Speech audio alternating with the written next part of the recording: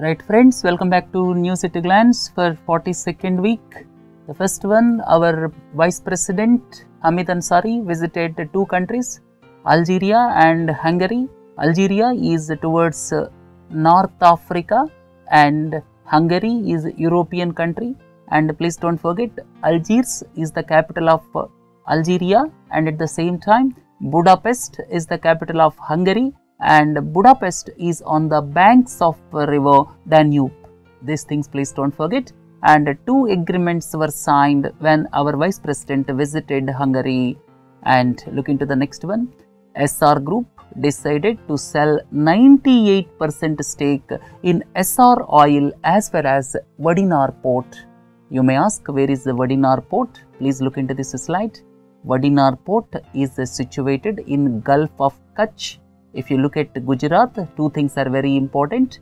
Gulf of Cambay or Gulf of Khambat, that is uh, one side, and on the other side, it is the Gulf of Kutch, and this Vadinar port is situated in Gulf of Kutch region, and this port infrastructure as well as retail network of over 2700 outlets and 20 million ton per annum Vadinar refinery all these things will be sold to a consortium of uh, Rosneft as well as Trafigura and United Capital Partners. Rosneft is the national oil company of Russia. So the companies belongs to Russia. Please don't forget Rosneft, Rostec, Rosatom. These are all the companies belonging to Russia and at the same time Roscosmos is the space agency of Russia. So these things please don't forget. Here the Essar group decided to sell 98% stake in Essar Oil and Vadinar port and the remaining things I have given here. It constitutes India's largest FDI through strategic divestment of a private sector company.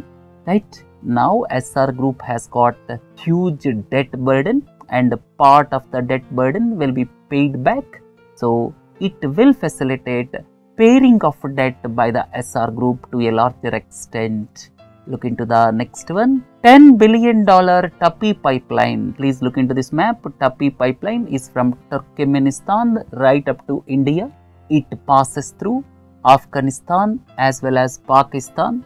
And finally, the financial closure is expected to be completed shortly and it is a long delayed project and the most critical aspect is some of the areas are infested with violence by Taliban and other insurgent groups. Look into the next one wholesale price index for September 16 was at 3.57% and consumer price index at 4.31%. And now the gap between consumer price index and wholesale price index narrowed to less than 1%. The other aspect is the Reserve Bank of India considers consumer price index as far as its monetary policy is concerned and wholesale price index base year is substantially old around 12 years back whereas the base year for consumer price index is just 4 years old. Other things who releases what I have given here. Please go through it. Wholesale price index is released by Ministry of Commerce and Industry that is office of the economic advisor whereas consumer price index is released by Central Statistics Office which is under the Ministry of Statistics and Program Implementation. The central government filed affidavit in Supreme Court that the practice of polygamy and triple talaq should be done away with. We are going to deliberate on this aspect in capsules shortly and all India Muslim Personal Law Board is not happy with the development and it is against the government's affidavit. And some Muslim organizations are fearing because government has got a hidden intention of uh, ensuring uniform civil code in the country. And if you look at the constitutional aspects, Article 14 talks about right to equality, Article 15.1 says that there shall be no discrimination on the basis of sex and Article 15.3 enables the state to make special provisions for women and children. Look into the next one. Bangladesh and China agreed to elevate their cooperation to a strategic partnership and the visit to Dhaka by the Chinese president occurred after 30 years and altogether 26 agreements on different sectors were signed and it is clear that Bangladesh is seeking cooperation from China as far as financial assistance is concerned. Look into the next one. The central government decided to utilize the vast network of post offices across the country to sell subsidized pulses, basically to ensure no shortage of pulses during the festival season.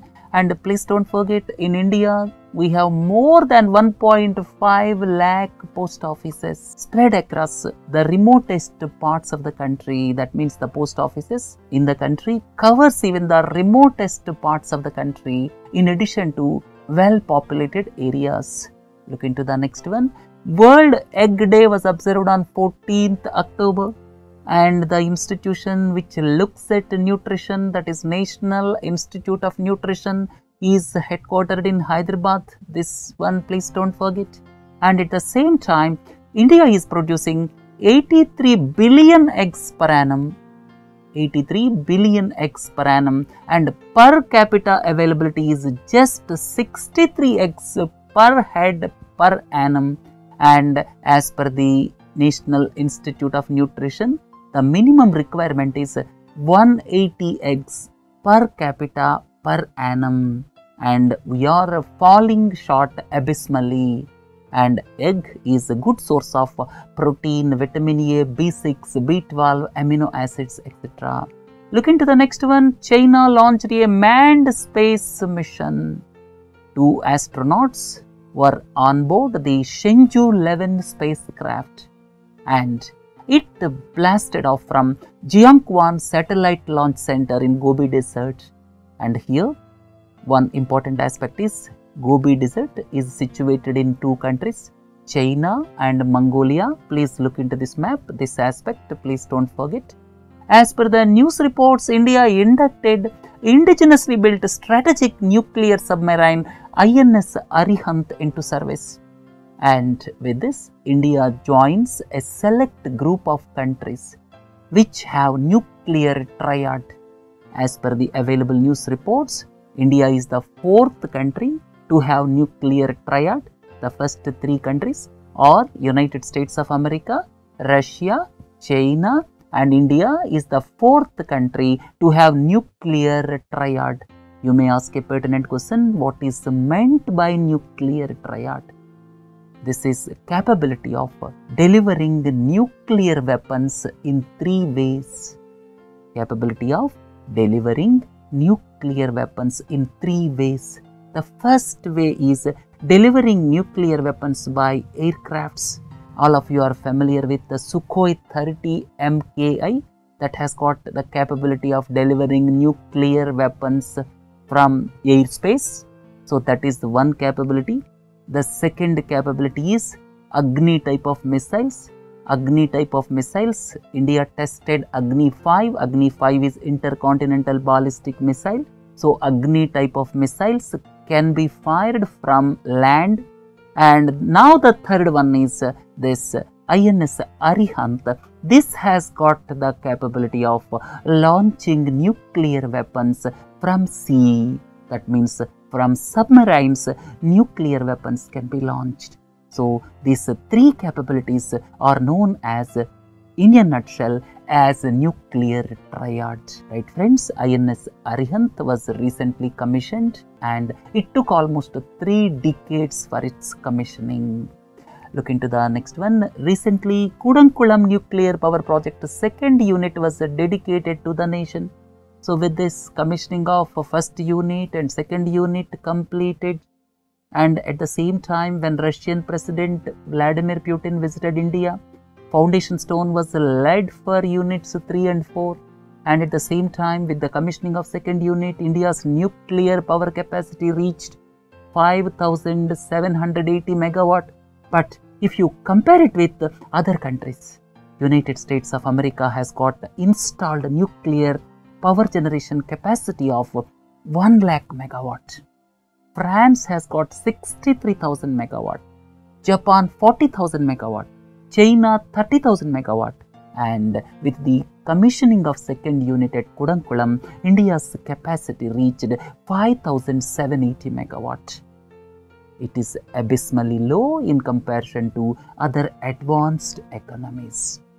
The Supreme Court extended stay on the commercial release of genetically modified mustard crop till further orders. This GM mustard was developed by Delhi University and it is into the news recently.